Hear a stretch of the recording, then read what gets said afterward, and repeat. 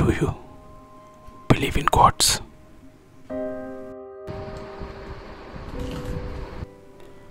The old and the new? Hmm? There's only one God,